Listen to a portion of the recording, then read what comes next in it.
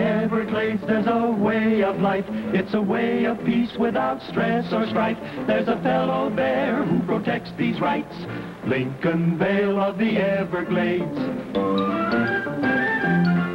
But they'll fight for rights and the homes they've made. Simple grassroots people of the Everglades. There's a natural danger and a man to face.